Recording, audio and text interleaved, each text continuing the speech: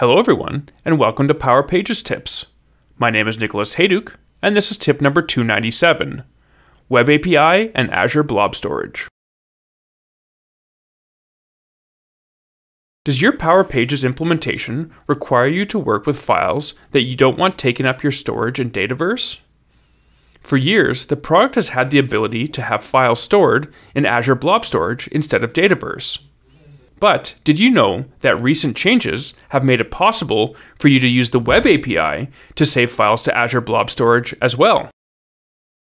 Before we dive into the details, don't forget to subscribe to the Engineered Code YouTube channel for our weekly tips, monthly community calls, and lots of other Power Pages and Power Platform content. Microsoft has been working hard at improving the experience for managing files on Power Pages. This includes an improved file upload experience for users and support for much larger files, up to 10 gigabytes. Another of these recent improvements is empowering advanced developer scenarios with these large files. To support large files, instead of storing them in Dataverse, you can connect an Azure Blob Storage container to hold the files. If your requirements dictate that you need to develop a custom user experience to upload these files, you'll be happy to know that the Web API has been extended with functionality that allows for this. Even if you're using Azure Blob Storage, the Notes table in Dataverse is still used. A note is created containing information about where to find the real file in the blob storage container. So the Web API functionality is still based around the note, also known as the annotation table.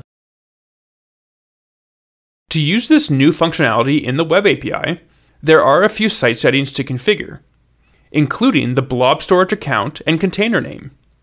You also need to set up the permissions to give you the appropriate access to the note table and the table you are associating the note to.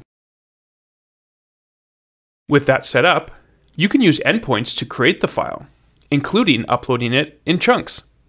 The Web API also supports downloading, editing, and deleting the files.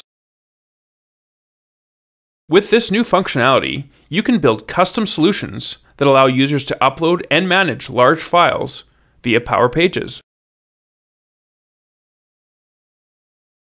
Thanks for watching, and I hope you found the Power Pages tip number 297 on Web API and Azure Blob Storage useful.